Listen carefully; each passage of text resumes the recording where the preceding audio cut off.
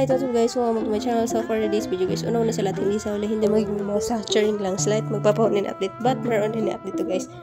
Ngayon na nga lang nakapag-update si Nini kasi medyo busy yung schedule na bash pa, nasabihan pa ng malande.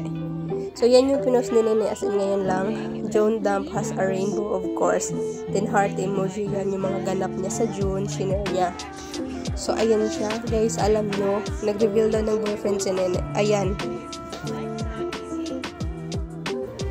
The end of the day, the only thing that really matters is making life as pleasant as possible. Like, that should be the goal. It's just to make life as enjoyable as possible.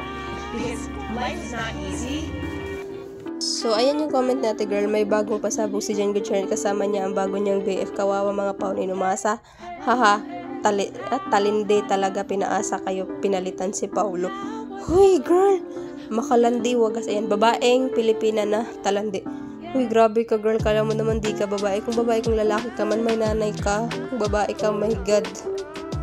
Oh my goodness. Yan daw yung boy na reveal ni Nene. So, ayan. Ito yung occasion na yun, guys. Ayan. Birthday yan.